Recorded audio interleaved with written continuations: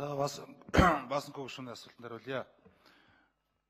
Чуулганы хилцэх чуулганы уралдаанаар хилцэх хэсэг асуудлыг шийдэхэд э, шийдэх үед манай Улсын хурлын гишүүдээс бас морь унаач хүүхдийн асуудлын тухай асуусан байдаг. Энэ малчны хөдөлмөр эрхлэлтэй холбоотой асуудлаар бас асуусан байдаг.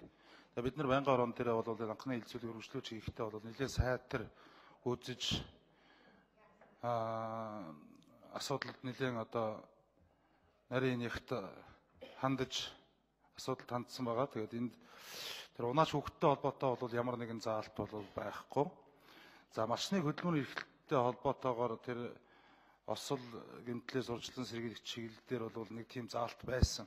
Ер нь бол одоо уг нь бол ер нь бол цаашдаа хөдөлмөрийн хууль бүх юмар бол бид нар бас авч үзэх шаардлага байгаа юм билээ. Малчин гэдэг бол өнөөдөр их малта мянгат малчингууд их олноор төрсөн. Тэгээд туслах малчин гэдэг а энэ туслах малчин одоо ажиллаулж байгаа энэ малчтын хооронд бас хөлмөрийн гэрээ байх ёстой гэдэг үндслээр л одоо ийм асуудлууд орж иж исэн юм бэл.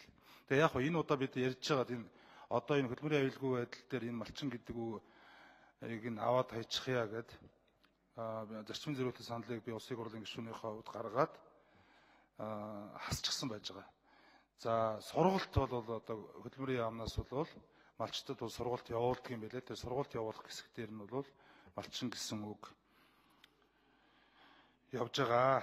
Энэ сургалт нь бол цааш дөрвөлжлөд хийгдэд явахаар ингэ шийдэгдсэн байгаа. За тэр хүний аюулгүй байдлын тухай асуудал дээр бол яг байнгын орон дээр тухайлсан ярьсан зүйл байхгүй. Хооштой бол энэ тал дээр бас анхаарч ажиллая гэж бодож байна.